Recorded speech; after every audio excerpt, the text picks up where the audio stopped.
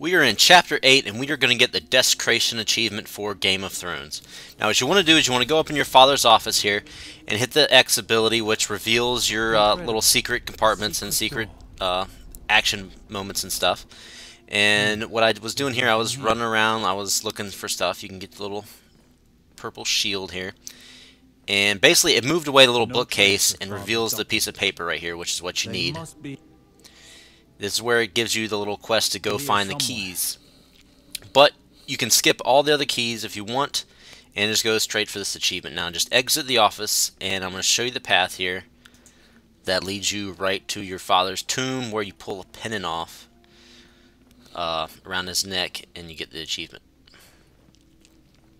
So just navigate your way through the hallways here.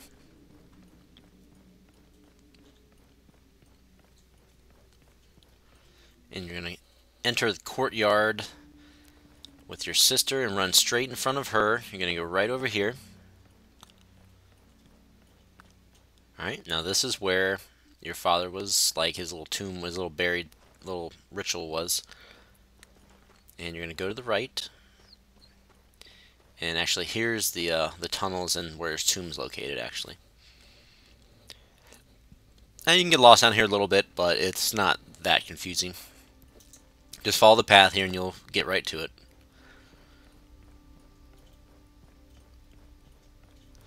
You can pretty much ignore all these little tombs on each side of you. They just tell you like who's buried there or who's locked up there. And you're looking for the one that has two little action bars on it, or icons. Which is going to be this one right here.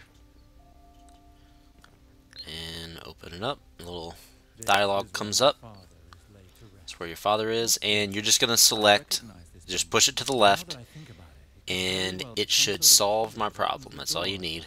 Click that, and he's going to pull the pendant off.